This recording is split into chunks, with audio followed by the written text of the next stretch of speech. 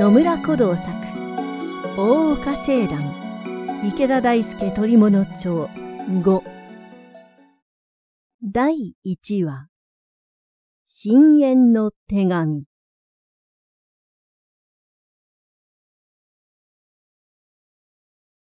発端編1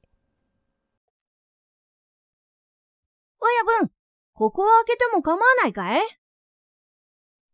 それは飴屋の仙太郎でした。冬の日の入る南園に波乱梅になって、泥だらけの足を靴脱ぎの上でパクパクさせながら、池田大輔の初見の窓を叩くのです。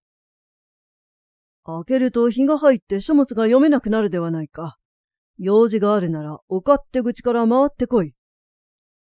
大輔は読み差しの本の上に愛用の文鎮を置いて、窓の外の少年に答えました。チェ、天道様の光るところでは読めないような書物を読んでいるのかいバカなことを申せ。日が入ると眩しいのだ。大輔は、しようことなしに席を立って、隣の障子を開けてやりました。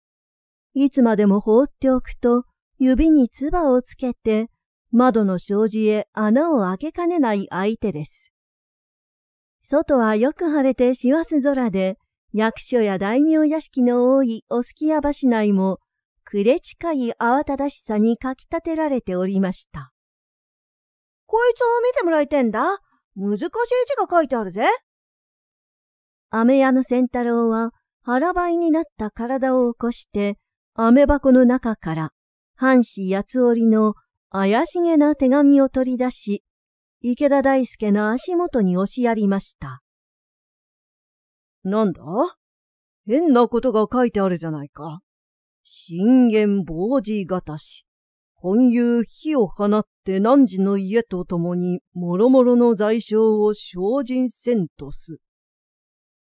俺は大変なことじゃないか。だから持ってきたんだよ。何でも火をつけて焼くってことが書いてあるんだってね。その通りだ。どこからこんなものを持ってきたんだ？池田大輔も乗り出しました。紙は普通の手習いに使う半紙で、墨は明らかに番すずりのすりだめに宿木。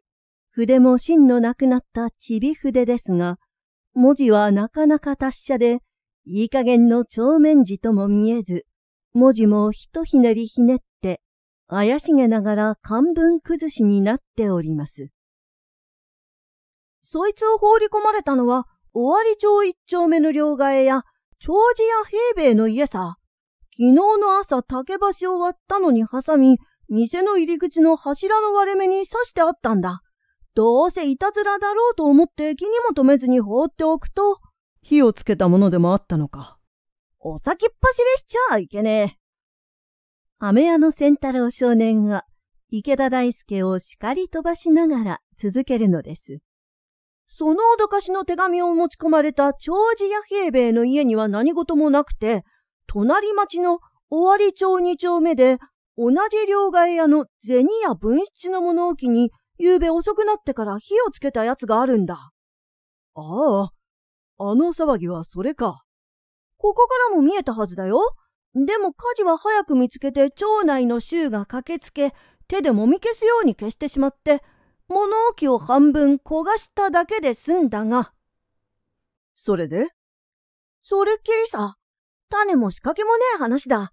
今朝になって長寿屋の旦那が、このへんてこな手紙のことを思い出し、こいつは放っておけねえから池田様にお目にかけるようにって、通りかかったオイラを呼び止めて渡したというわけさ。話の怪奇さが池田大輔の注意を引いたものか、縁側に中腰になったまま、じっと考え込んでおります。火付け野郎が安い手当かなんかで間抜けな人足を雇ったんじゃないかね。頼まれた奴が面食らって、同じ両替屋だし、背中合わせの隣町だから、長寿屋のつもりで銭屋の物置に火をつけたんじゃないか？ねえ、親分。飴屋の仙太郎も、近頃は見ように真似で、ものを考えるようになってきたのです。それも一つの考えだが、悪者は長寿屋と銭屋と二軒を恨んで、両方の店にそんな手紙を放り込み、何か訳あって、銭屋の方にだけ火をつけたのではないかな。騒がれておじけがついて、長寿屋の方は思いとどまったといったような。なるほどね。そいつも一つの考えだが。雨屋の仙太郎は、こんな高慢な口を聞くのです。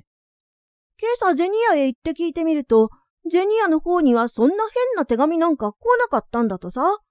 火をつけると言った長寿屋が無事で、何の前触れもない銭屋の方が火をつけられたわけさ。することが卑怯だぜ。この説の悪者は。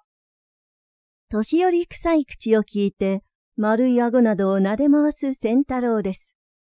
この妙な行き違いが、恐ろしい殺人にまで発展しようとは、仙太郎はもとより池田大輔の英知をもってしても気のつくはずもありません。池田様、大変なことになりました。御用聞きの玄太がその渋い顔を一層渋くして池田大輔のお長屋に飛んできたのは、それから三日目の朝でした。なんだ？大層慌てているではないか。池田大輔はまだ顔を洗ったばかり、これから朝の前に向かおうとするところを、玄太の慌ただしい声に呼び出されたのです。お膝元の人殺しでございます。ご通訳をお願いいたします。どこだ？尾張町一丁目。長寿屋ではないか。どうしてそれを？なんとなくそんな気がしたのだ。殺されたのは誰だ？娘の八重でございます。評判の小町娘で。池田大輔はそれを聞きながら手早く支度に取り掛かります。家の中で殺されているのか？いいえ、庭で刺されて死んでいるのを朝になってから手代の半三郎が見つけたそうで。行ってみよう。大輔は朝飯を抜きにして、おみのの心配そうな目に送られながら、おすきや橋を渡ってつい目と鼻の間の尾張町一丁目へ行きました。長寿屋平兵衛というのは、その頃、二流どころの両替屋で、店構えはさして大げさではありませんが、場所柄だけに相当の繁盛で、娘、親への美しさとともに、界隈に知られた店の一つでした。ご苦労様でございます。店の前まで迎えたのは、主人の平兵衛で、五十前後の、これは連達な感じのする中老人。その後から、手代半三郎は、臆病らしい顔を出したり引っ込めたりしております。二十二三の生っ白い男で、典型的なお棚者です。大輔と玄太は、そのまま狭い路地を入って、お勝手口の横を四坪ほどの庭に案内されました。いわゆる土一生、金一生の江戸の下町で、これだけの庭を作るのは税の極みですが、四坪の庭に苔深々と蒸した大石をあしらい、冬枯れ姿ながら、巧みに新山幽谷の起因を作り出したのは、誠に心憎き主人のたしなみです。娘はこの石のそばに死んでおりました。安全として主人の平兵衛は風流のために無理をして庭へ運んだらしい巨大な一枚石を刺すのでした。死骸は部屋の中に入れましたが、石のあたりは半端たる乙女の青地、苔を浸して紫に光っているのも、ものすさまじい限りです。雨戸は？開いておりました。そして娘は庭下駄を履いたまま死んでいたので。最初に見つけたのはお前だと言ったな。池田大輔は主人の後ろにキョトキョとした様子で従っている手代の半三郎に声をかけました。はい、いえ、朝の雨戸はいつも私が開けますので、お嬢様の部屋の前まで来ると、雨戸が開いておりますので、お嬢様がもう起きて雨戸を開けてくだすったことと思い、ひょいと外を見ると、このありさまで。半三郎はおどおどしながら、そのくせ恐ろしく用心深い態度で、その時のことを話しております。大助はそこをいい加減にして、縁側から部屋へ通りました。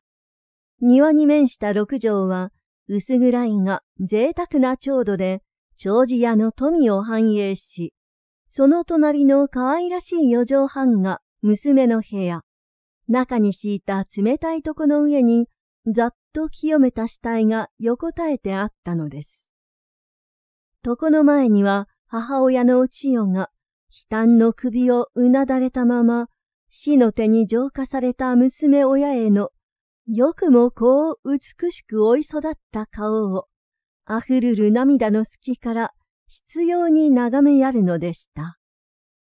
一人娘を非業にしなした母親の限りない嘆きは、さすが物慣れた玄太にさえ表を背かせたほどで、若い池田大輔がしばらく立ちよどんだのも無理のないことです。これ、ご遠慮をするのだ。お役人様のおいでだ。主人、平兵衛に注意されて、お千代はようやく身を開きました。ご覧の通り、他愛もございません。悲嘆に溺れきった女房をようやく縁側に誘い出して、平兵衛は寂しく泣き笑いを笑います。池田大輔は母親と入れ替わっ、娘の死骸の前に膝を進めたのです。発端編2娘親への美しさは死もまた寸豪も奪うによしなく、それは誠にこの世のものとも覚えぬ清らかさでした。線のふくよかな細表、眉が霞んで半眼の長いまつげ、母親が死骸に含ませてやったたしなみの口紅がさえざえとして、物言いたげな平和な唇が微笑をたたえているようにさえ見えたのです。傷は背中へ一突き、心臓を破られて、声も立てずに死んだことでしょう。骨細の豊かな肉付きや華奢な手足が昆虫針に縫われた美しい蝶のような幻想を起こさせるのでした。心当たりは？池田大輔は主人の平兵衛を振り返って常識的なことを聞くほかはなかったのです。娘を恨んでいるものなどがあろうはずもございません。が、この間から不思議な手紙が二度ほど、店の柱に竹橋で突っ立ててありました。最初のは、飴屋の仙太郎に頼んで、旦那様のお手元にお届けいたしましたが、それは見た。深淵防止型しと書いた。あれが最初の手紙で、あの時手前どもは何事もなく、二丁目の銭屋さんの物置に火をつけたものがあったと聞いて、二度目の脅かしの手紙もどうせそんなことだろうと油断をいたし、一応娘や家の者には気をつけるように申しましたが、大した心配もせずにのんきにしておりましたところ、その晩、こんなことがあったのでございます。主人の平兵衛は深刻な後悔に苛まれて、諦めきれない唇を噛むのでした。その二度目の手紙というのは？昨日の朝、店の柱の背ほどのところの割れ目に竹橋の古いのに挟んで刺してありました。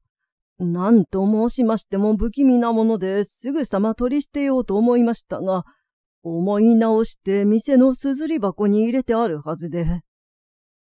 主人平兵衛の話のうちに、手代半三郎は早くも立って、店からその脅かしの手紙というのを持ってきました。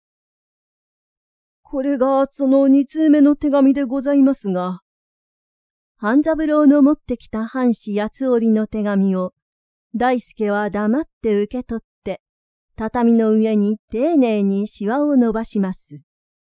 それは第一の手紙と同様、何の特徴もない手紙で、悪い墨のちび筆で書いた癖の強い達筆で、続いて汝の求心を続滅せんとす。まず第一番に、小娘の命を申し受くるものなり。と、こう書いてあるのでした。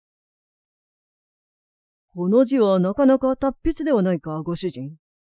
大助は平兵衛に話しかけます。さ、さようでございます。ところが、娘という字だけが違っている。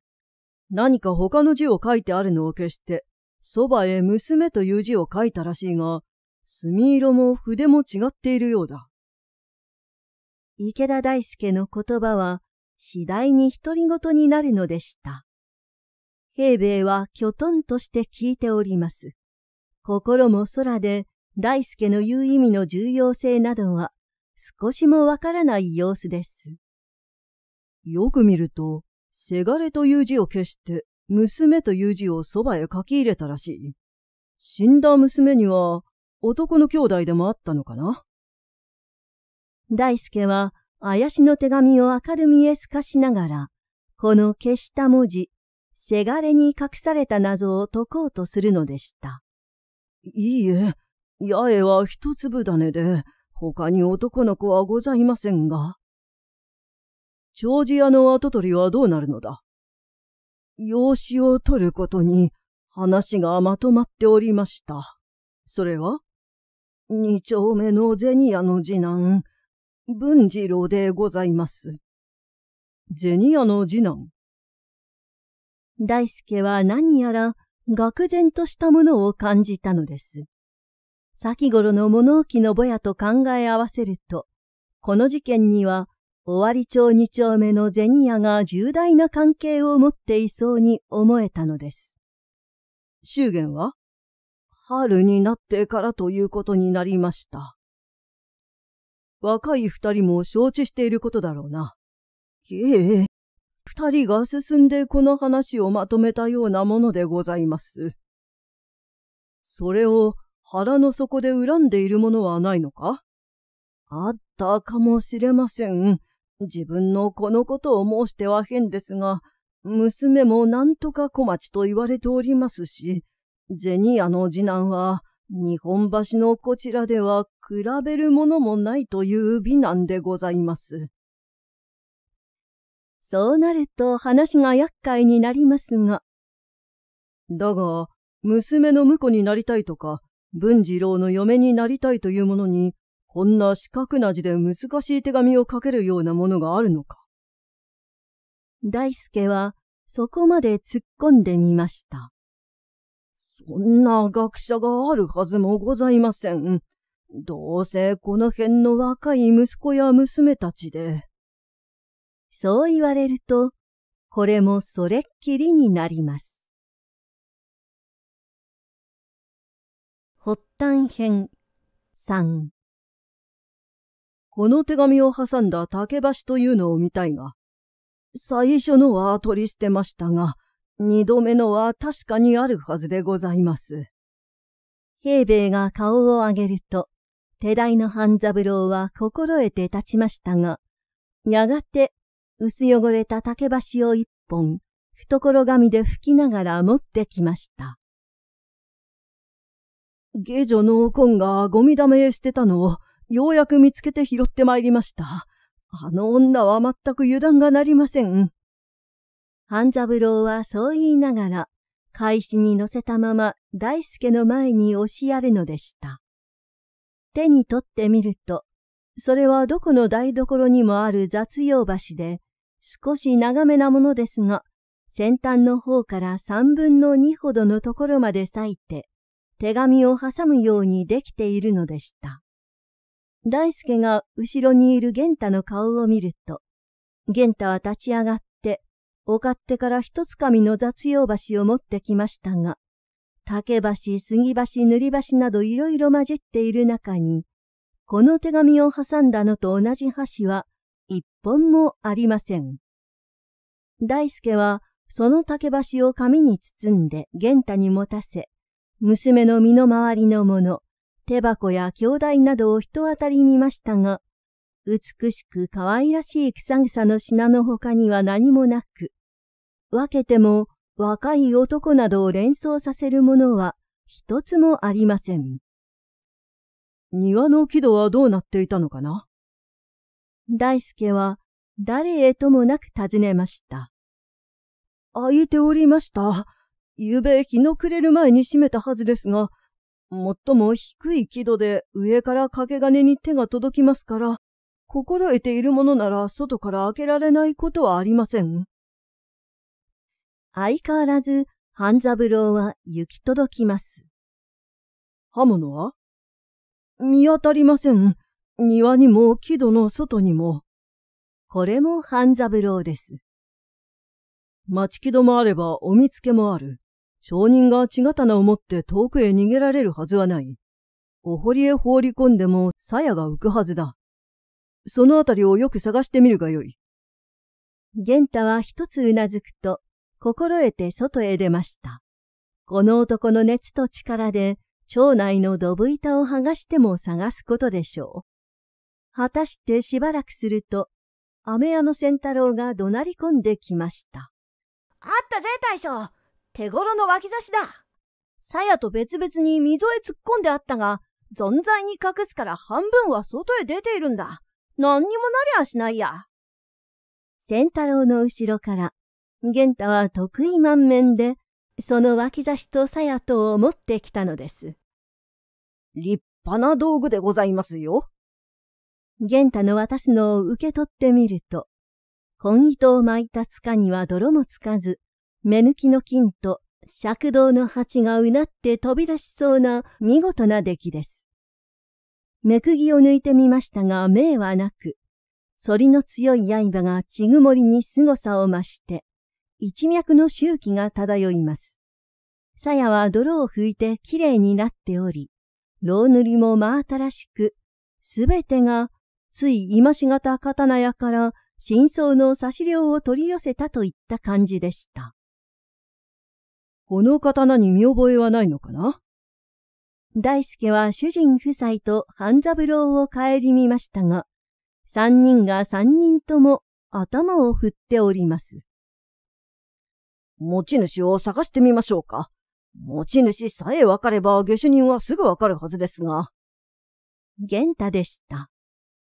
いや、誰にでも見れるように半分ほど溝へ突っ込んでおいたのなら、そう手軽に下手人はわかるまいよ。へえ。それより、刀屋を当たってみることだ。大した技物ではないが、塚が真新しいから、近頃刀屋の手を離れたものだろう。なるほど、そんなことになりましょう。では、それを。玄太はその刀を大輔から受け取ると、集まってきた下っ引きの中から気の利いたのを二人呼んで、この辺りの刀屋を軒並みに聞いて回るように言いつけました。発端編4池田大輔は御用聞きの玄太と飴屋の仙太郎少年を連れて二丁目の両替や銭屋文七の店に向かいました。銭屋文七は同じ両替屋といっても七夜を兼ねた三流どころの店で障子屋の合成さには及びもつきませんが、それでも商売柄生活はなかなか派手で、店構えも賑やかに、大勢の人が出入りしております。玄太が一足先に前触れをしたので、店中の空気は急に緊張して、主人の文七はよく光る酒焼きを先に立てて、大助の一行を迎えました。長寿屋が飛んだことで私も今お悔やみに行ってまいりましたが、文七にとっては、次男の文次郎の良い嫁を失ったのが、今のところは単なる驚きで、まだ何のまとまった考えも浮かんだ様子はありません。この間火事があったそうだが、それは放火に間違いあるまいな。火の気のない物置の羽目に、藁や薪を積んで火をつけたのですから間違いありません。五十五六の品の良い男で、昔は随分せがれの文次郎にも劣らぬ美男だったことでしょう。物言いは至って柔らかですが、妙に折り目の正しいのに大輔は気がつきました。その前触れのお手紙は来なかったのか？一向気がつきませんが。甚だ頼りない返事です。昨日から明けさえかけても何事もなかったのだな。へえ。それは、甚だ頼りない返事ですが、何か変わったことを期待してきた大輔に対する一脈の反感にさせる冷淡さでもあったでしょう。あれは？せがれのお文次郎でございます。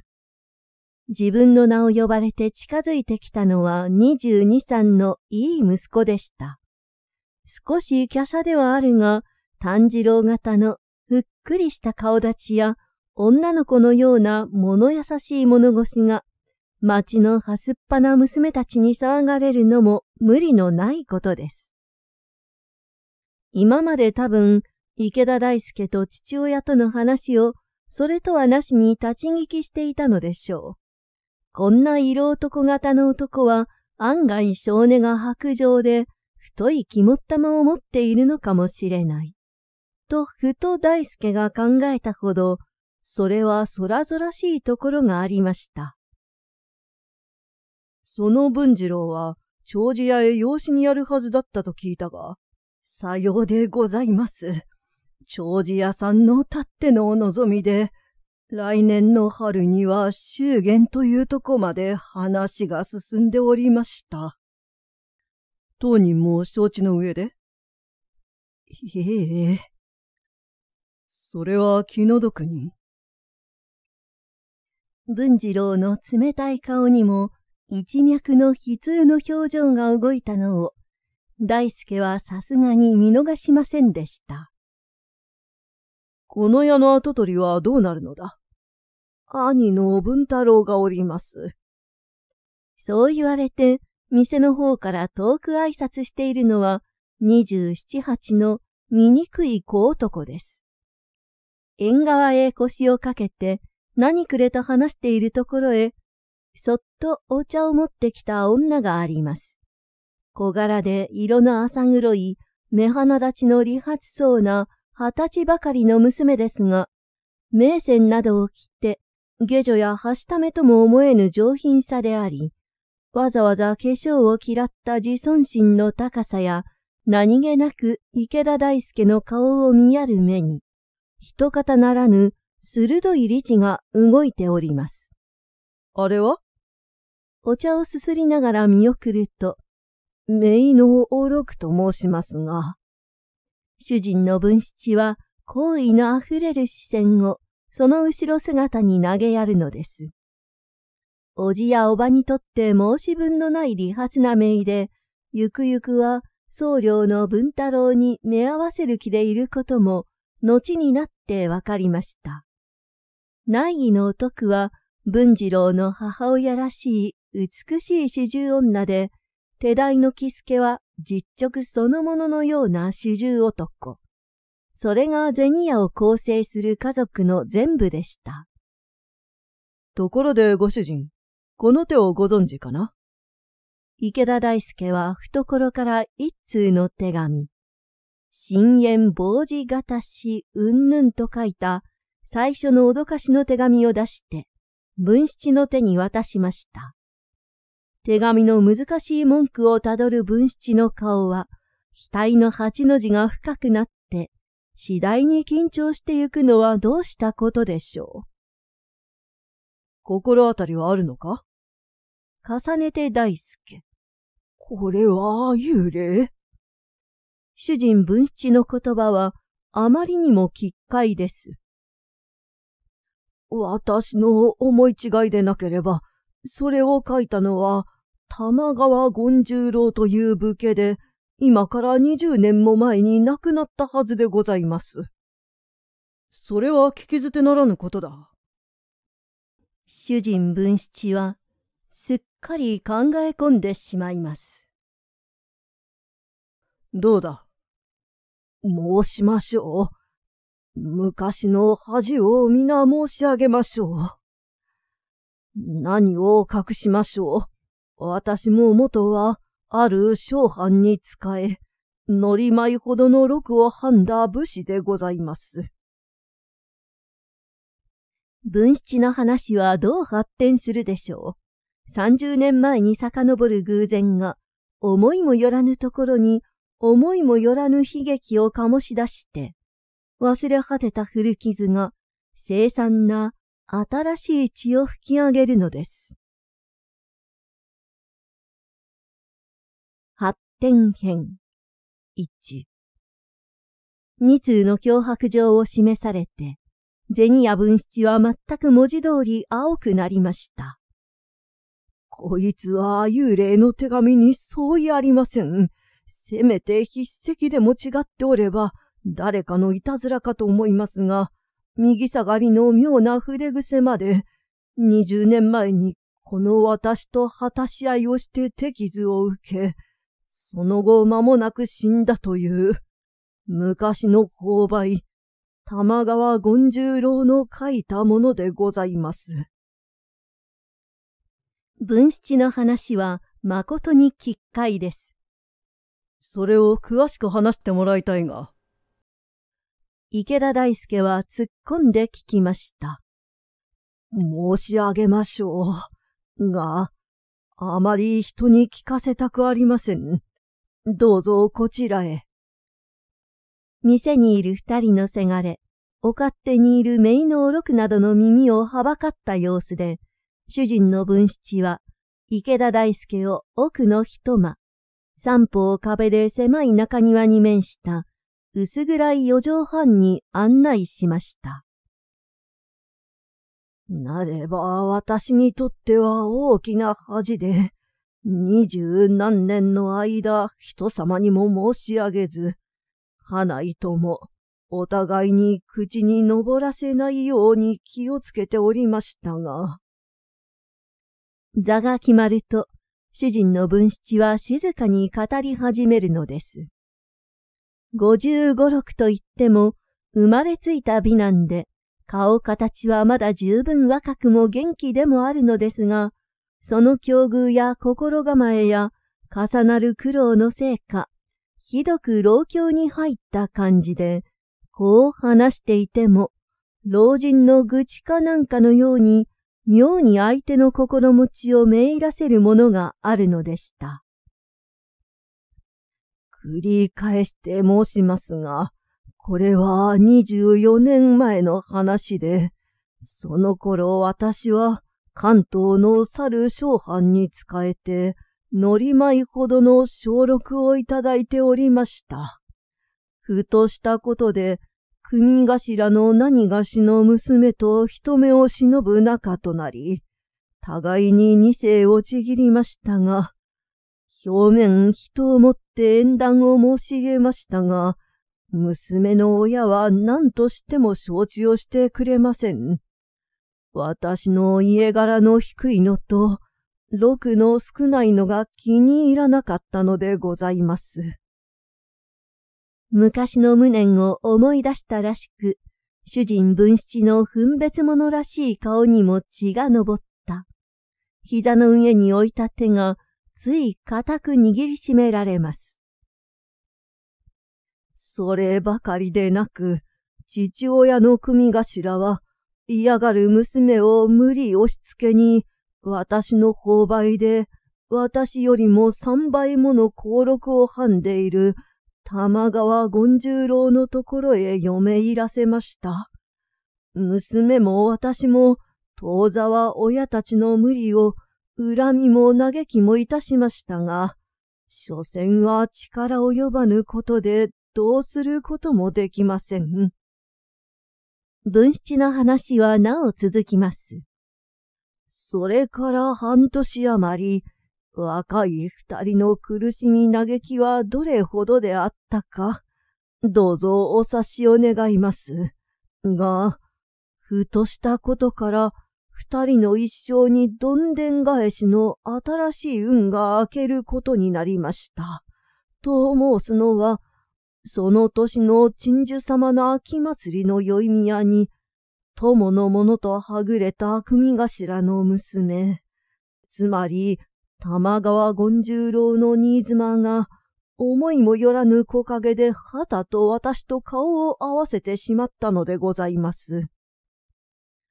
子供の時から教え込まれた武家の定金に従えば、二人はそのまま顔を背けて別れるところですが、困ったことに二人の気持ちはそれほど素直ではなく、半年の間燃やし続けていた胸の炎が油を注がれたようにたけり狂って、鉄と磁石のように無我夢中で吸い寄せられ、人目もはばからずに抱きついてしまったのでございます。しかも、その穏やかならぬ様子を下人どもに見られてしまったとしたら、どうなるのでございましょう？明日は範中につむじ風のような二人の噂が広がり、親兄弟までが世間に顔向けのならないことになりましょう。二十何年前のラブシーンの思い出は、六十近い分七の胸に青春の血を蘇らせます。二人はそこからすぐ浜辺に走り、漁師に大金をやって、その夜のうちに海上を江戸へと走ったのでございます。その組頭の娘と申すのが、二十何年の地まで連れ添っている私の女房のお徳でございます。そういえば、文七の立派な顔形も、四十をはるかに越した内儀の美しさも、昔の美男美女の名残としてうなずけます。で、その玉川とやらいう人は？池田大輔は、話の続きを促しました。放っておけば、主人の文七はいつまでも昔の階層に溺れていそうです。玉川権十郎は、目がたきうちの旅に出たという噂を聞きましたが、高をくくって油断をしていると、自分の腕の鈍さを知っている玉川権十郎は、私の住処まで突き止めても正面から名乗って出るほどの勇気もなく、お互いに不安な日を過ごしているうち、あるよう所用があっての帰り、芝三代の宵闇に、二人は近々と顔を合わせてしまいました。もはや酒も交わしもならず、玉川権十郎一刀を抜いて切りかけました。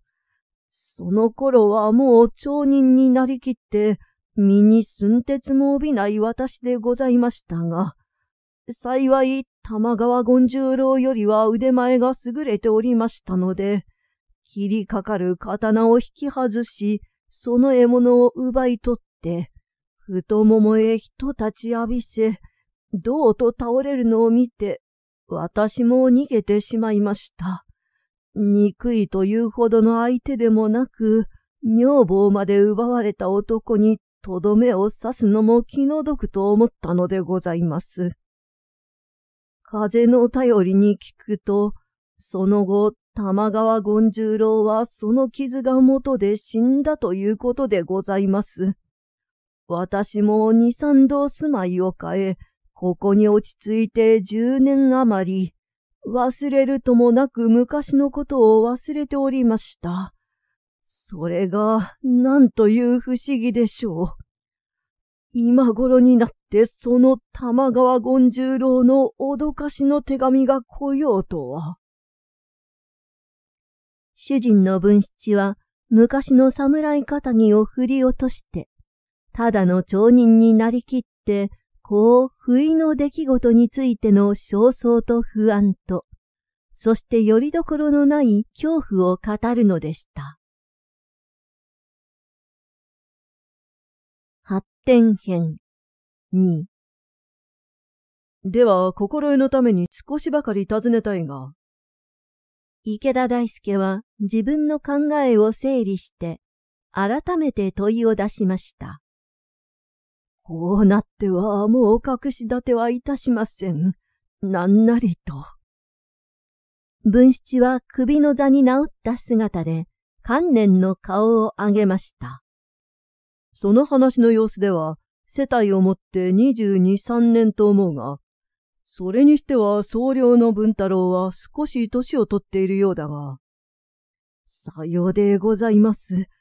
これは本人にも内緒にしておりますが、家内が私と一緒に国を立ち退いたとき、解任をしておりました。一緒になって八月目で産み落としたのが、あの文太郎で、老けては見えますが、まだ二十四になったばかり。申すまでもなく私の子ではなく、あれは玉川権十郎の種でございます。それを今日まで？わらのうちから育てたせいか、私も自分の子のような気がいたしますし、第一、あれはご覧の通りの武男ですが、誠に心がけの良い人間で、弟とは比べ物にならない高校者でございます。そういったものかな。ママ母と違って、系譜の転々さを池田大輔は目の当たりにしたような気がしたのです。それに弟の文次郎としても、長寿屋の大心情の跡取りになり、小町娘の親へと一緒になれば、決して不幸せとは申されません。それは極めて打算的な言葉で、こんなことを聞かされたら、池田大輔の若さが承知しそうにもないのですが、思いのほか素直に受け取れて、大した腹も立たないのは、銭や文七の前身はともかく、今はすっかり証人になりきって、少しの気取りも虚栄もないのが、かえって憎めない態度だったのかもしれません。それで、長寿屋の娘が殺されてしまえば、文次郎を養子にやる望みも絶えたわけだ。かかりうどの姪のお六とやらは、約束を元に戻して、次男の文次郎に目合わせることにするつもりかなとんでもない、お六と文次郎を一緒にするという確かな約束があったわけではございません。犬猫と違って、縁談ばかりはそう変更もなりませんので、やはりお六は僧侶の文太郎と目合わせ、この銭屋ののれんを継がせることになりましょう。それが世間並みのやり方かと存じますが。それは誠に最も至極な考え方というものでしょう。主人の分七から聞くべきことは他には何にもありません。大輔はその小部屋を出て店の方へ行くと、池田様、何か良い手がかりでも。御用聞きの玄太は待ちかねた顔を出します。いや、まだ何も掴んだわけではない。だが、いろいろのことが分かったよ。長寿屋の娘殺しは、容易ならぬ深い企みがありそうだ。で、なんぞ私にもできることがありましょうか？活動的な玄太にとっては、こうじっとしているのが何よりの苦手です。主人文七は元関東の商藩に仕えたということだ。本人の口から言いにくかろうが、多分房州北条で一万石の八代越中の神様、上総小弓で一万石、森川紀伊の神様、上州牛久で一万石、山口首里様、同じく麻生一万石の新庄殿も様。この四家のうちに違いない。ご苦労だが、それをいちいち回って、23年前蓄電した文七という藩士はなかったか。また同藩に玉川権十郎というものがあったはずだが、その行方がわかるまいか、念入りに聞いてもらいたい。ええ、そんなことならわけはありやせん。城下から船で江戸へ逃げたというから、多分北条の八代家のように思うが。かしこまりました。玄太は新しい骨の折れる仕事に張り切って飛び出しました。残るのは、飴屋の仙太郎と池田大輔だけ。まだ仕事があるかい大将。華々しい仕事がないので、仙太郎は少しむくれております。退屈ならお前はご近所の噂を集めてくるがよい。この家にはいろいろわからないことがありそうだ。そんなことならお手の物さ。この辺にはおいらのお得意が多いから。仙太郎もまた、飴箱を鳴らしながら飛んで行ってしまいます。池田大輔は宣告生ぜられた部屋に戻ってじっと考えておりました。幽霊の手紙。この手紙にはいろいろの厄介な暗示がありそうですが、事件は恐ろしい相棒でのしかかるような圧迫感を持っているくせに、少しの手がかりもないのは、よくよく悪賢いくせ者と特訓でいる証拠でしょう。お茶を召し上がってくださいませ。縁側に三つ指をついたのは、名能六のすがすがしい姿でした。この頃の世間並みから言えば、少し嫁ぎ遅れてはおりますが、見直すと、底光のするような知的な美しさを持った娘で、目鼻立ちのはっきりした色の浅黒い不思議な魅力の持ち主です。少し尋ねたいが。はい。おろくは首を上げました。恐ろしく美しいポーズです。お前はこの家の親戚のものだと聞いたが。姪ということになっておりますが、実は遠い血統のものでございます。ここには何年ぐらいおるのだ？4年ほどになります。文太郎と一緒になる約束だと聞いたが、お前も納得づくのことであろうな。池田大輔の若さにしては、なかなかのツッコミです。でも、私はおじさまおばさまの並々なみならぬご恩を受けておりますし、文太郎さんはそりゃあ良い方でございます。次男の文次郎は長寿屋の娘の棍棒で婿に行くことになったというが、二人の仲はどんな様子であった？分けても文次郎の心持ちは？長寿屋の親家さんの方が夢中だったと申します。でも、おろくは何か言いかけて、口をつぐんでしまいました。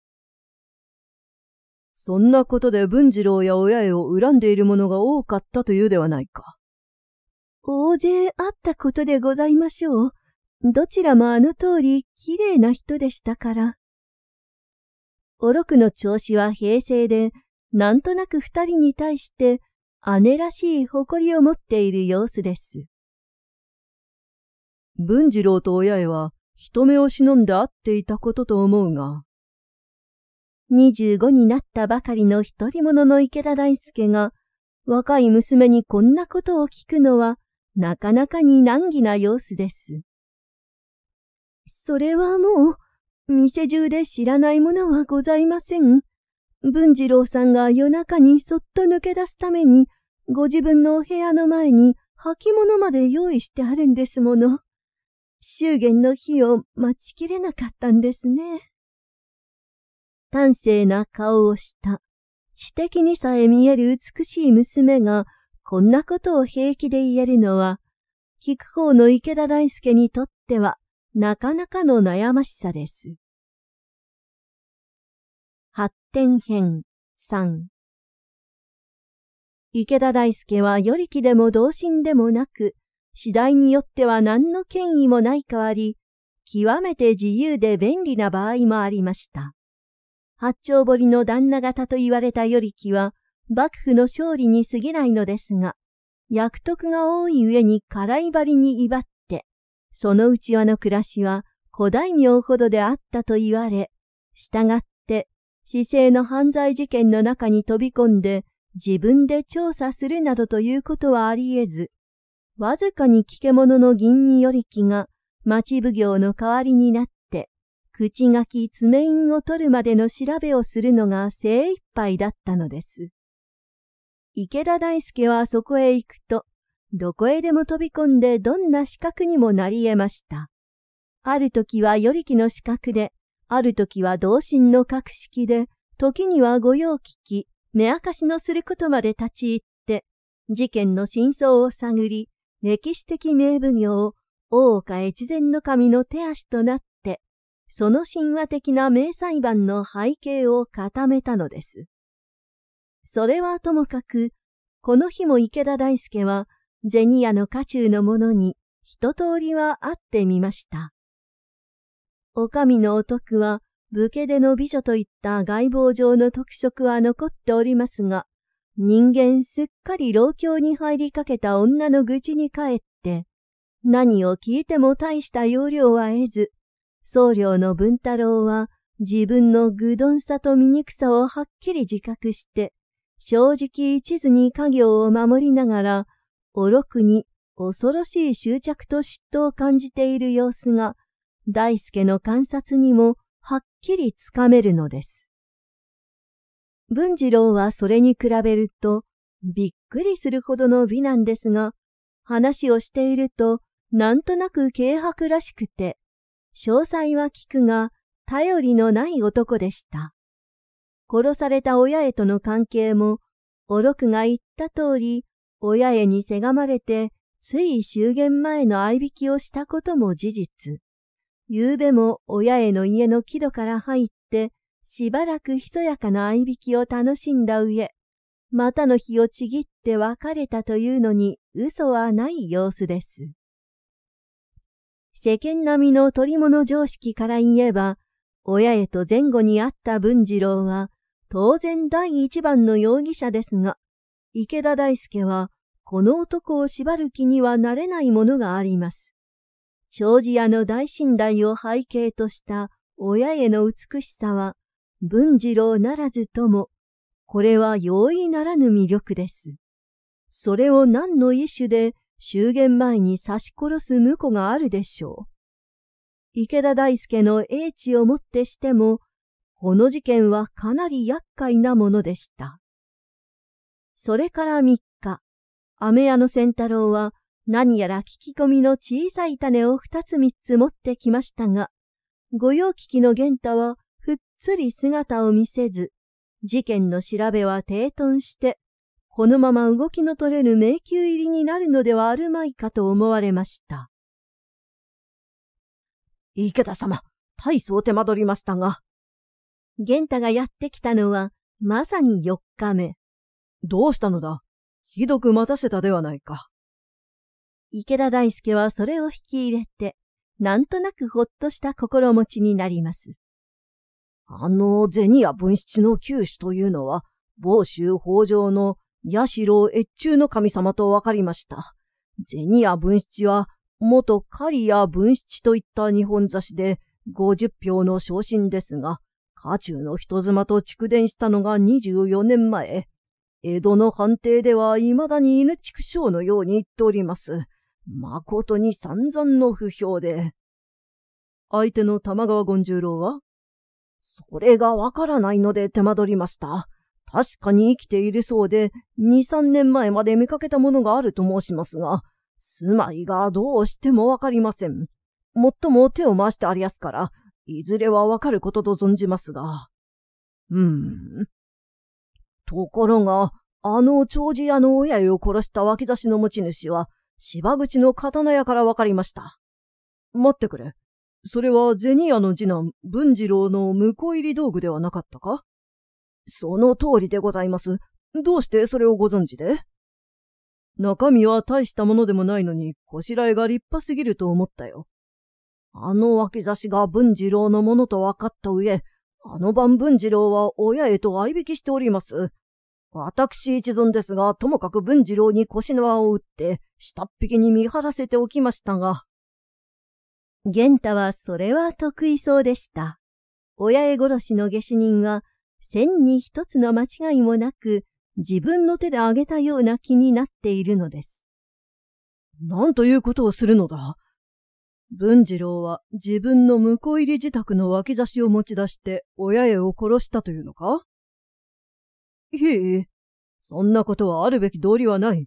文次郎の縄を解いてやって、せめて外から見張るくらいにしたがよかろう。さようでございますかで、もう一つ妙なものがありますが。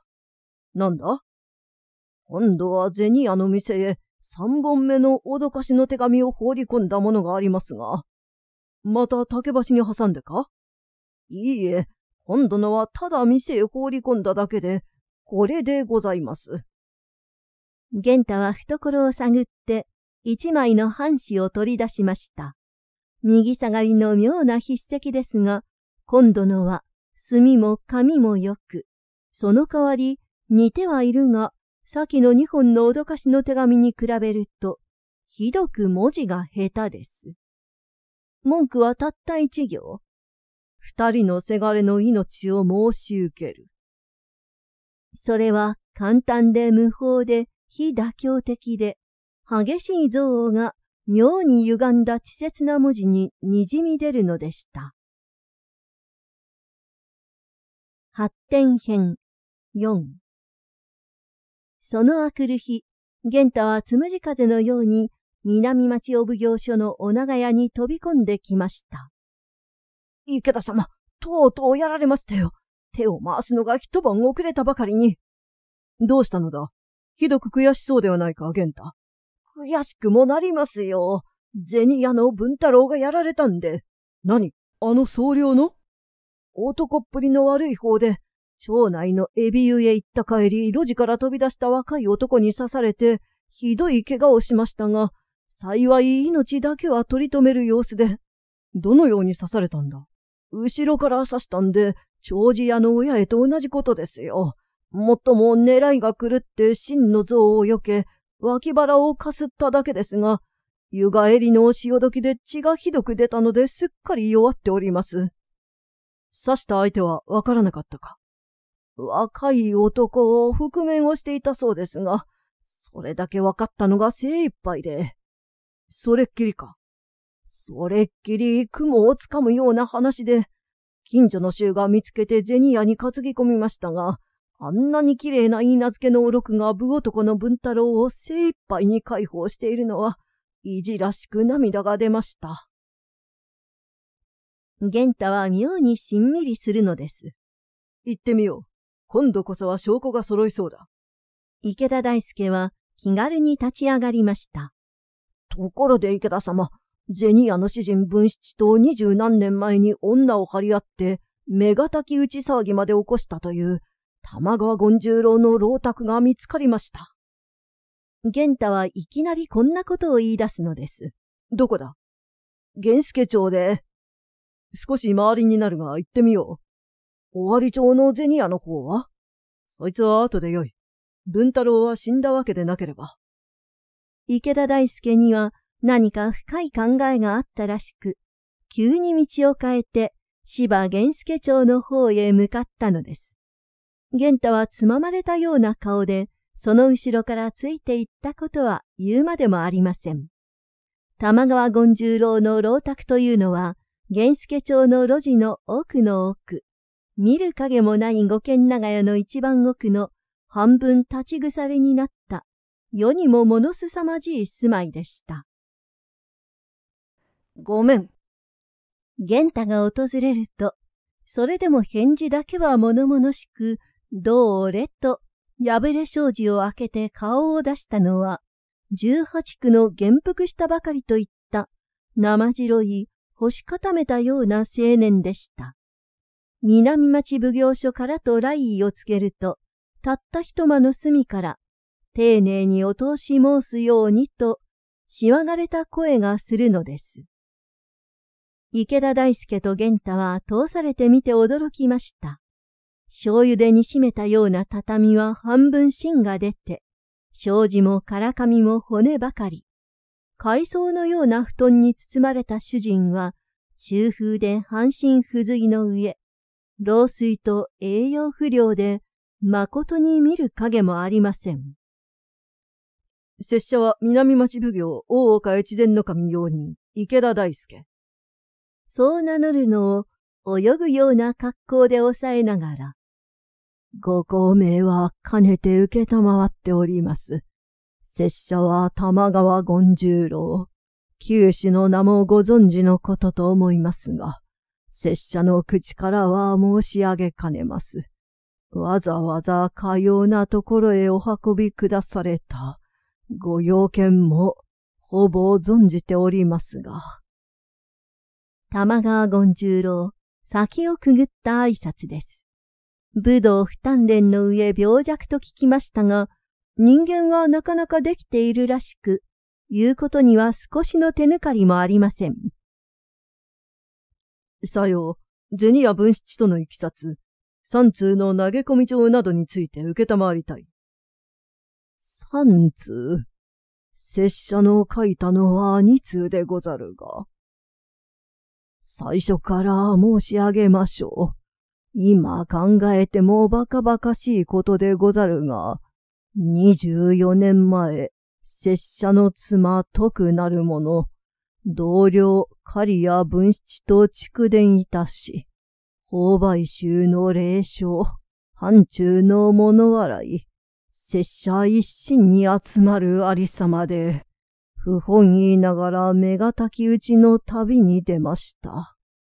親の仇討ちとでも申すならともかく、世に女房に捨てられた男が大事の命をかけて、目がたき打ちに出るほどバカバカしいことがござろうか。玉川権十郎は床の上に超体側するのです。池田大輔は黙って聞き入りました。それに拙者は学問諸芸に凝って、恥ずかしながら武道はことごとく不鍛錬。仇、狩りや分七に出会ったところで打ち取ることなどは思いもよらず、お互いに巡り合わぬよう、用心に用心を重ねておりましたが、三年目のある晩、運悪く芝山内にて巡り合い、逃げもかわしもならず立ち会って、拙者は高桃を切られ、生まれもつかぬフグとなってしまいました。こんな武士があるだろうか。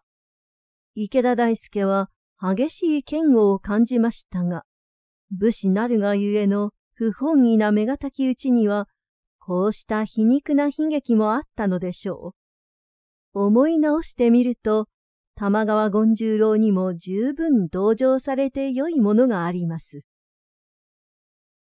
それからは、本国へ帰るに帰られず、手習い師匠や手内職で、あたら一生を棒に振ってしまいました。もっともその後縁があって、町内の商人の娘を妻に迎え、あれからせがれ権之助を設けましたが、二年前妻が死んでからは、続いて拙者が中風にかかり、無事だった方の足も効かなくなって、ご覧の通り、生ける死の業を晒しております。ここまで落ち込んだのも、もともと拙者の不鍛錬不始末で、誰を恨もう筋もござらぬが、そこが凡夫の悲しさ。つい昔のことが思い出されて、つまらぬ手紙を二通まで書き、せがれに申しつけて、銭屋のお勝手口へ投げ込ませました。誠に面目次第もない。これが武士の仕業と申されましょうか、池田氏。玉川権十郎は床の上に半身を起こして、惨憺たる顔を心持ち伏せるのです。手紙は確かに二通。投げ込んだのは銭屋の勝手口でござるな。間違いはないはず。念のために、せがれ権之助にお尋ねくだされ。その手紙はこれでござるな？大助は懐から用意の二通、長寿屋へ放り込んだ方の呪いの手紙を出してみせました。間違いはござらぬ。第三通目はこれでござるが、それは拙者の手ではござらぬ。一目でお分かりのはずだが。ところで、最初の二通が尾張町一丁目長寿屋の店先に竹橋に挟んで刺してあったのはどうしたわけでござろう。その上、物置に火を放たれたのは銭屋で、娘の殺されたのは長寿屋。お待ちください、池田氏。拙者が書いた二度目の手紙には、確かにせがれの命とあったはず。それを娘の命と直したのは心得がたいことでござる。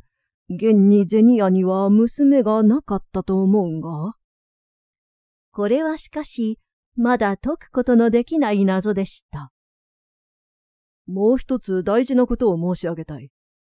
昨べ銭屋のせがれ文太郎がくせ者に襲われて傷を受けましたが、その文太郎は銭屋の内儀が本国を蓄電してから8ヶ月に産んだ子で、本年24歳。顔形はご貴殿そっくりでござるぞ。え、それは、それは？玉川権十郎は不自由な体を忘れて床の上に起き上がりました。どんなに巧みに用意した言葉でも、この老人をこれほど驚かすことはできなかったでしょう。銭屋の主人文七、かつての刈谷文七殿は、ことごとくそれを承知で育て上げ、我が子同様に慈しんで、今度も名能六と目合わせ、銭屋の心情を継がせると申している矢先、肝心の文太郎が危うく殺されかけました。池田大輔の言葉は恐ろしく眼蓄が深くて、そして効果的でした。解決編1銭屋の物置のぼやから長寿屋の娘殺し、そして最後に銭屋の総領文太郎襲撃と三つの事件には明らかに脈絡がありそうですが、その因縁をたどって、浪人玉川権十郎まで行き着くと、解決への一縷の望みは、そこではたと耐えてしまいました。拙者は見られる通り、フグの上の病弱で、近頃は手内職もおぼつかなく、せがれ権之助に養われて、わずかに路名をつなぐありさまでござる。二十年前の祝宴、元より忘れる間もないが、今となってはそれに報いるすべさえもなく、せめての腹いせに嫌がらせの手紙を二通まで書いて、せがれ権之助に銭屋の勝手口へ放り込ませたのは、いやはや、我ながら卑怯未練の振る舞い、誠に恥じった次第でござる。玉川権十郎は池田大輔の前に淡然と表を伏せるのです。手習い師匠と手内職で20年の苦しい人生をしのいできた玉川権十郎は、目がたきの狩りや分七など、今の銭や分七に対する祝宴のために延期のように生きてきたというよりは、目がたき打ちというバカバカしい運命を背負わされ、武士の対面という具にもつかぬ名門に引きずられて、お辱と貧困のうちに虫けらのように生きてきたのでした。父上。不意に部屋の隅にいたせがれの権之助は顔を上げました。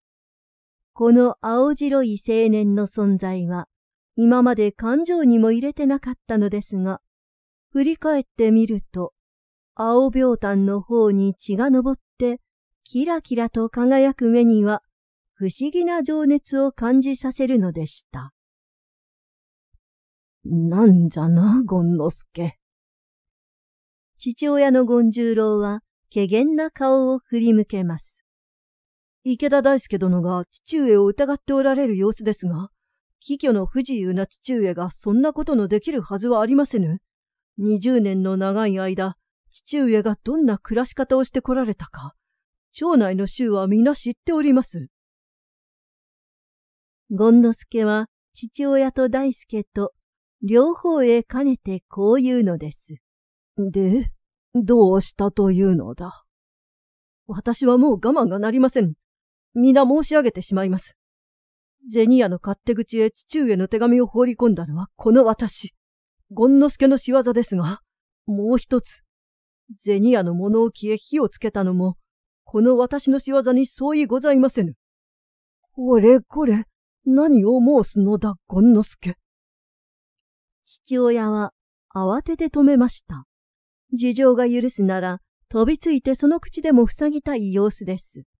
言うまでもなく、その頃の放火は人殺し以上の罪悪と思われ、大火を焚いてさえも処刑された時代で、江戸の花と言われた火事を防ぐために、為政者がどんなに冷酷無残な刑罰を用意したか、今日の常識では想像もできません。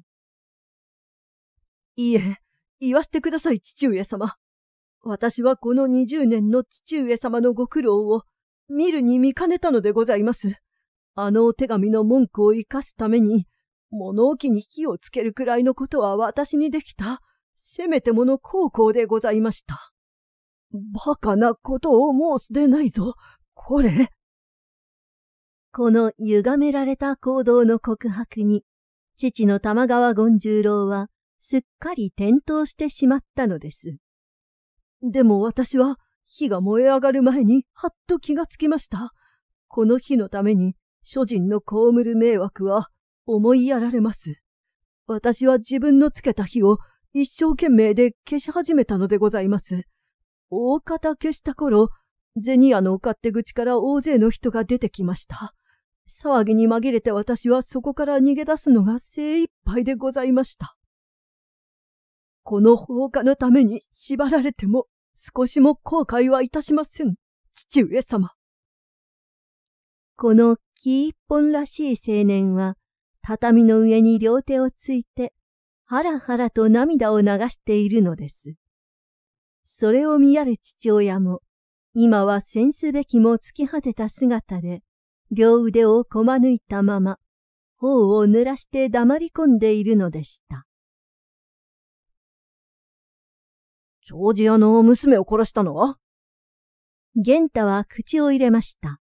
この機会を外さず、一気に解決しようとしたのです。それは知らない。私は命を惜しんで言うのではない。この上人一人殺したところで、私の罪は重くなるわけではないが、銭屋へ二度目の手紙を投げ込んだあくる朝、私は町内の衆と一緒に成田の不動様に参り、七日のおこもりを済ませて、今朝帰ってきたばかり。これは同行の方々に聞けばわかることだ。この言葉には疑いの挟みようはありません。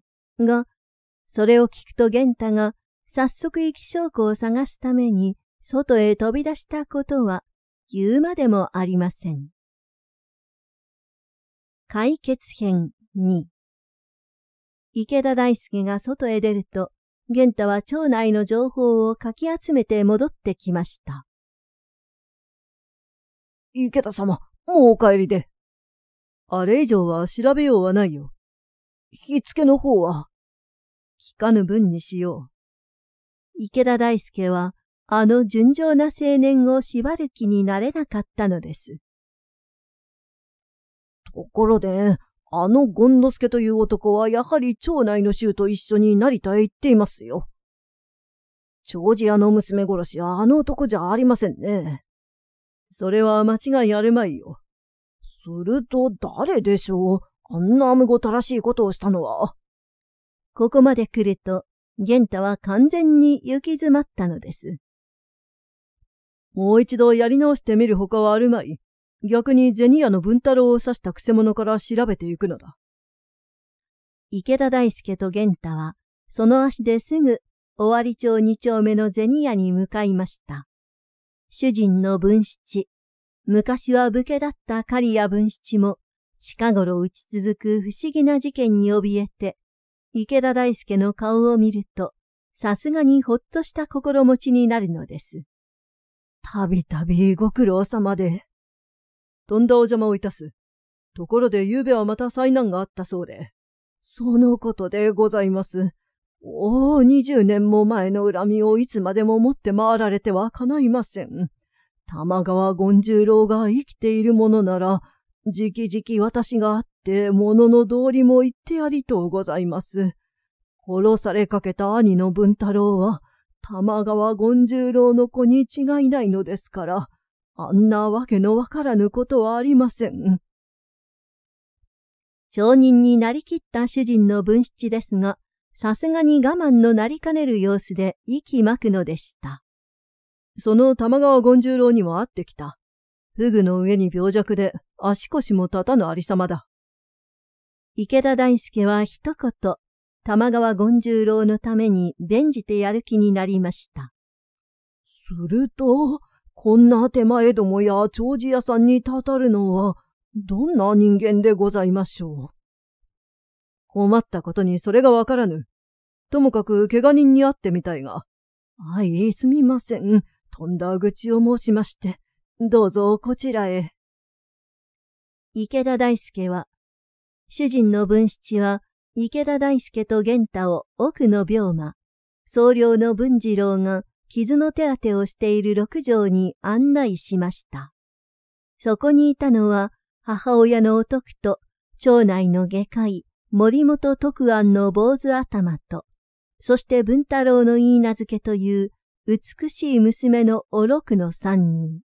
いずれも突き詰めた顔で手負いの文太郎の容体を見守っているのでした。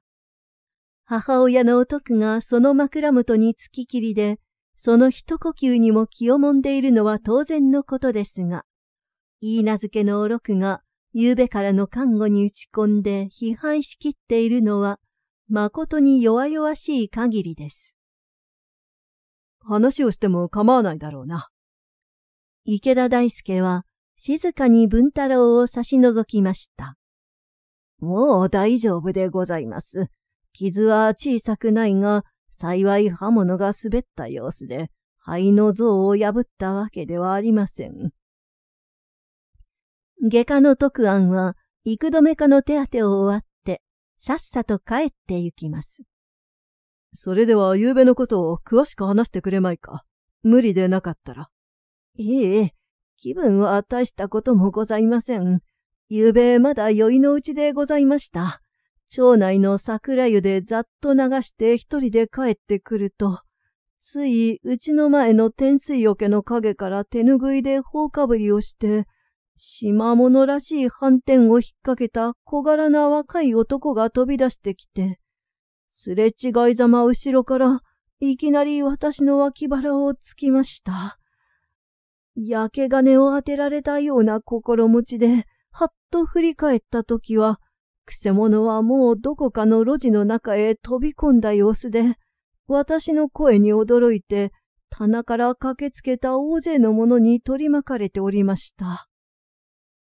一番先に駆けつけたのはおろくだったようで、私が往来へ倒れてしまったのを、後ろから抱き起こしてくれたのはおろくで、あとは番頭の木助と弟の文次郎に助けられて、店の中へ転げ込みました。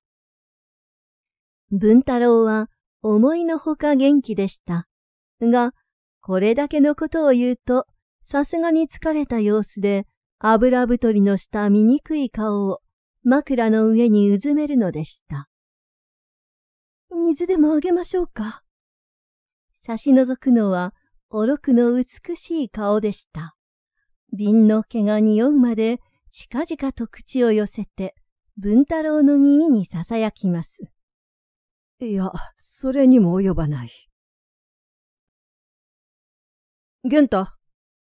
池田大輔は、不意に縁側に待機している玄太に声をかけます。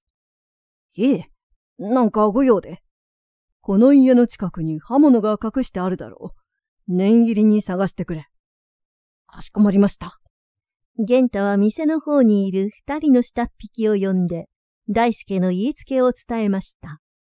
それを聞いた二人の下っ引きは、時を移さず手を回して、五六人の人足を借り集めてくると、銭屋の裏表は言うに及ばず、文太郎が刺された現場を中心に、尾張町二丁目一帯に捜査の手を広げたことは言うまでもありません。解決編3見つかりましたよ、池田様。玄太は飛んできました。どこにあったのだ妙なところにありました。どこを探してもないのでいい加減諦めていると、文太郎が刺されたところからほんの二三軒先の天水桶、あの大釜の下に鞘と別々に突っ込んでありましたよ。下水や縁の下ばかり探したって見つからないわけで。玄太はそう言いながら、血潮と泥にまみれた手頃の脇差しを持ってきて見せるのです。持ち主はわからないのか？店へ持って入ると番頭の木助は肝を潰しました。この脇差しは商売物の七流れだが、品が良いので木助が水にを切って買い受け、自分のものにして押し入れ入れておいたんだそうで。その木助はどうした？すっかり面食らって青くなってやすが、あげたものでしょうか？玄太は袖の中の鳥の輪をまさぐるのです。散々手こずらしたくせ者をこの辺で縛らなければといった心持ちでしょう。待て待て、早まっちゃいけない。それより昨べ総領の文太郎が湯へ行っている間、店に姿を見せなかったものはないか。それを聞いてきてくれ。それなら分かっておりやす。誰だ？文次郎で。それっきりか。池田大輔の言葉には何やら重大な含みがありました。この間からのいろいろの事件のうち、銭屋の物置へ火をつけたのは、玉川権十郎のせがれの権之助だとしても、長寿屋の親へを殺したのと、夕べ銭屋の僧侶文太郎を傷つけたのは、明らかに銭屋関係のもので、玄太は文太郎を刺した脇差しの持ち主、番頭の木助に疑いの目を向け、池田大輔は夕べ店に姿を見せなかった。次男の文次郎に重大な関心を持った様子です。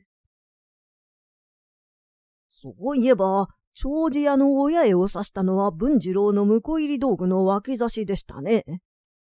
文太郎を刺した大脇差しは、やはりこの家から出たものだ。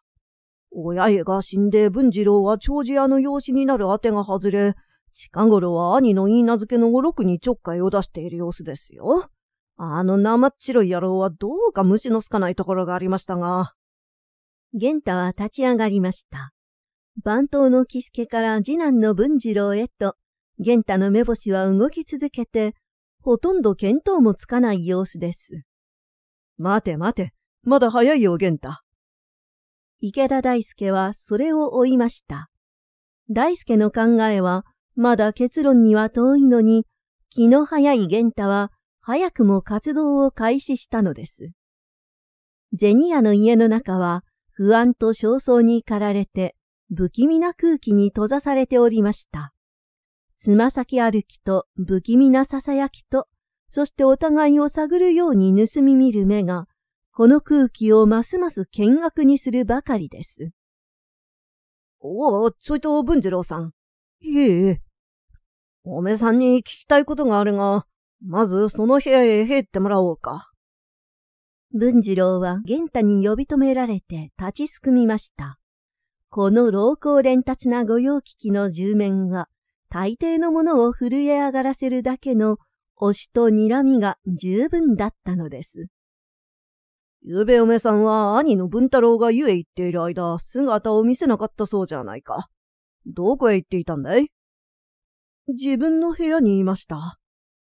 何をしていたんだ？いい若いもんが酔いの口から自分の部屋に引っ込んで何をしていたんだい？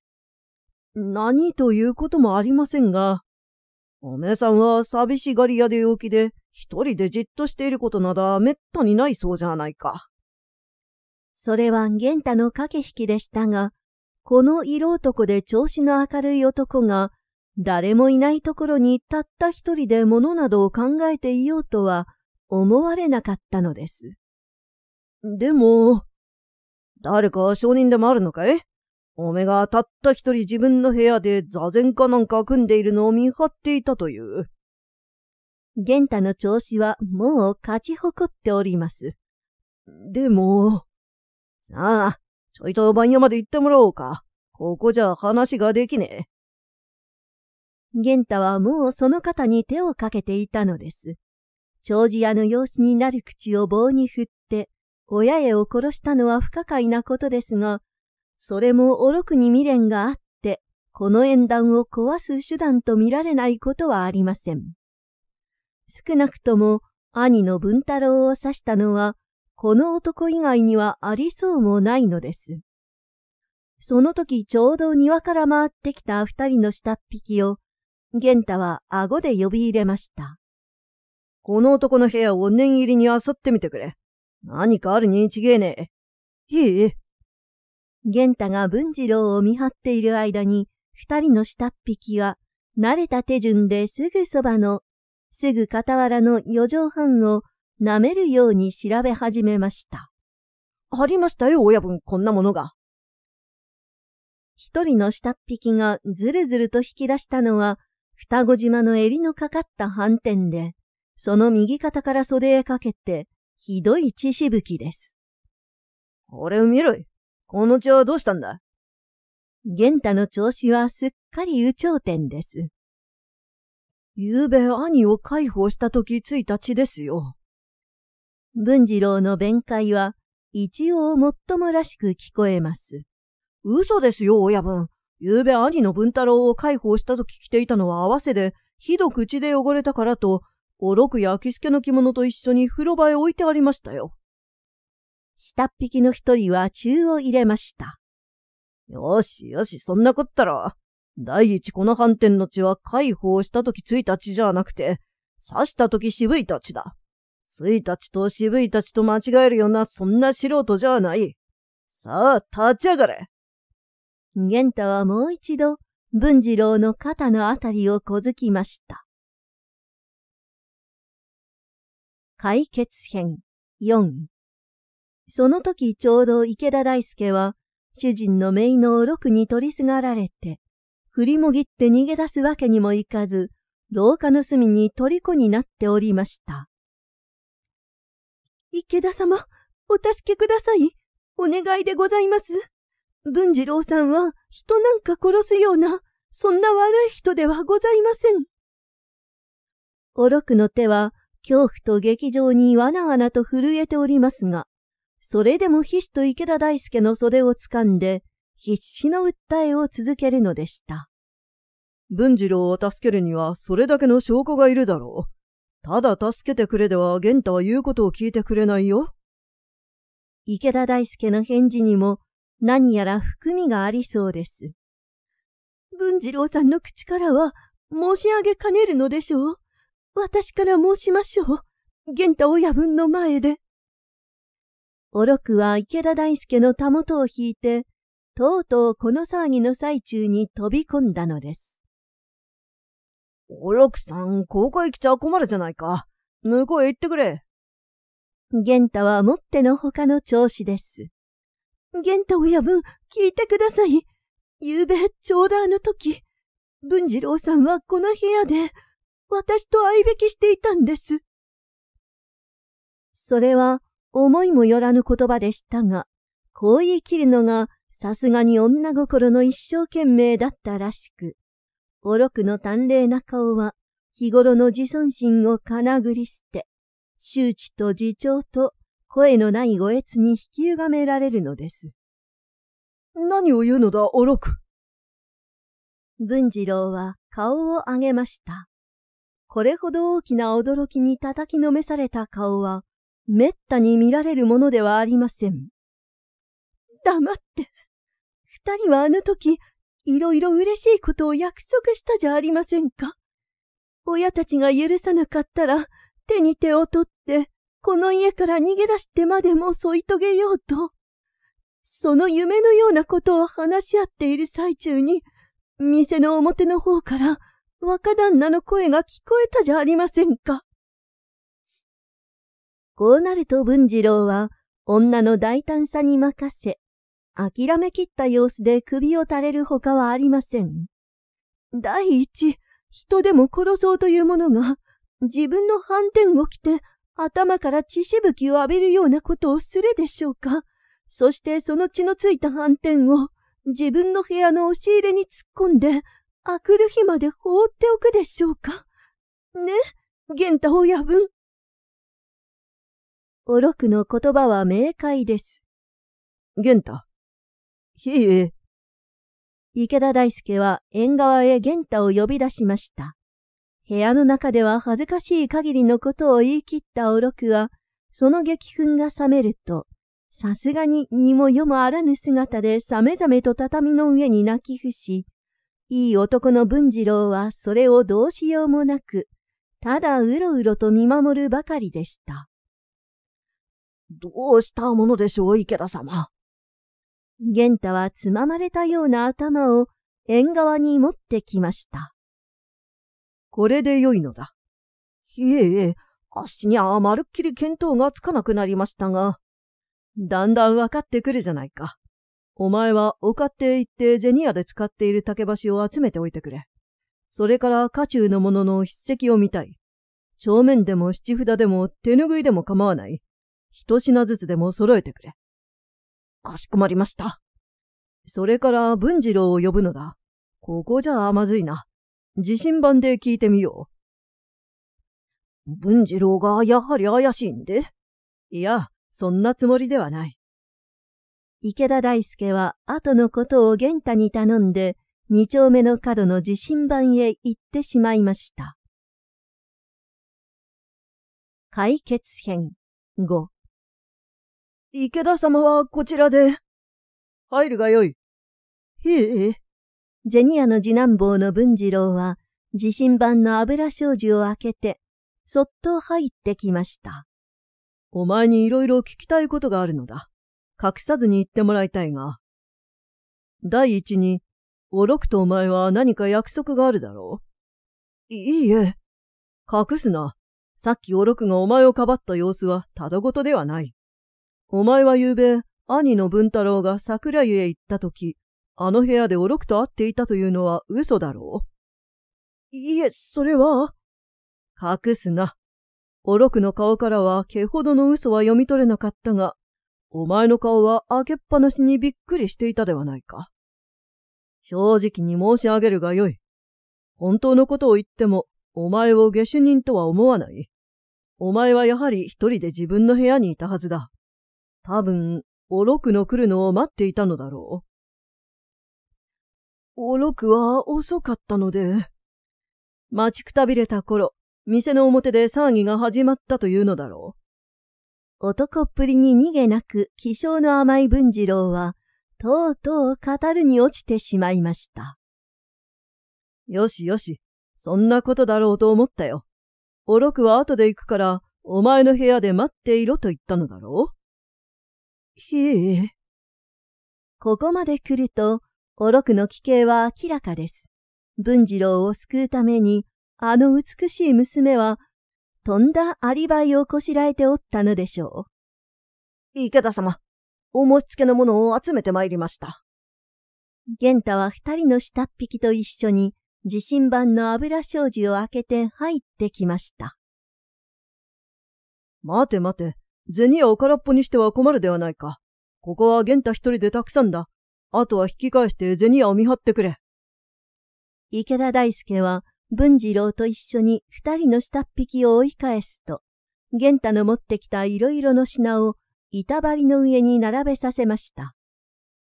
これが竹橋、これが家中の者の筆跡で。長寿屋の店の外へ手紙を挟んで刺しておいた古い竹橋と同じものはないのかないようで。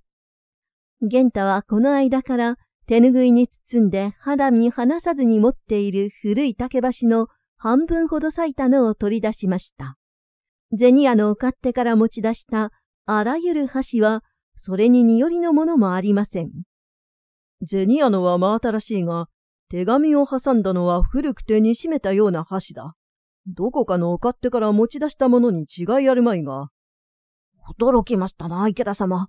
あの玉川権十郎の老宅の橋を調べてみましょうか。いや、それにも及ぶまいよ。筆跡も家中のものを集めましたが、三番目の手紙の筆跡に似たのもありません。主人の文七は名筆、内儀は一問普通で字は書かず、番頭の木助も脳筆ですが、これは長面字。文太郎、文次郎兄弟もかなりよく書きます。お六はどうだ？これも女にしては字のうまい方で、細い綺麗な字です。あの脅かしの手紙のように右下がりの変な汚い字は書きません。どれ？大輔は家中の者の筆跡と、くせ者の書いた第三通目の脅かしの手紙と、丁寧に見比べましたが、驚いたことには、ここにも何の類似は見出せなかったのです。解決編6その晩遅くなってから、池田大輔は玄太を連れて、おすきや橋のお長屋を立ち入れ、尾張町二丁目の銭屋のあたりから一丁目の長寿屋へと静かにたどっておりました。文次郎が長寿屋の娘親へと忍び合った晩、何か変わったことがあったに違いなく、その通い時に証拠らしいものを残しているかもしれないというおぼつかない見込みだったのです。あれは何だ？大通りへ出ようという路地の入り口には、バタバタ闇に飛ぶ火の粉を見たのです。二八そばの屋台でございやす。聞いてみよう。大輔はもっともらしい侍姿のまま、二八そばの屋台の前に立ったのです。そこで大輔のたぐり出したのは、素晴らしい手がかりでした。玄太の巧みな問いに引き出されて蕎麦屋の牢屋は、そりゃあ随分いろんな客がありますよ。若い女の客だってありますとも。この間なんか男の反転を引っ掛けて、手ぬぐいでほっかむりをしたすごい娘が来ましたよ。もっともろくにそはなんか食いやしません。一杯引っ掛けて、あたふたと飛んでいきましたが、箸ですか？時々はなくなりますが、こんなものですからあまり気にもかけません。へえ。そんな話を聞いているうちに、玄太は竹橋を一本もらって、自分の懐のと比べてみました。ひどく汚れた具合、寸法から粗い削り用まで、誠にぴたりと一致するではありませんか。もういいよ、玄太。竹橋はここから持って行ったのだ。それから銭屋の家中の筆跡を調べたとき、つまらないことに気がつかなかったのを思い出したよ。筆跡は随分器用に変えられるが、墨や筆は変えられないということだ。くせ者の脅かしの手紙、あの三番目の手紙は、芯のある細い筆で、針金のような右肩の下がった字を書いてあったと思う。字がまずいのに、墨はいい墨だったが、銭屋の家中に、あれと同じ細い穂の長い筆で、針金のような字を書いたのはなかった。墨色は少し青かったと思うが、あの脅かしの手紙の字の右肩をぐっと上げたとしたら、誰の字に似てると思うか？あ、あの女だ。おろくのアマだ。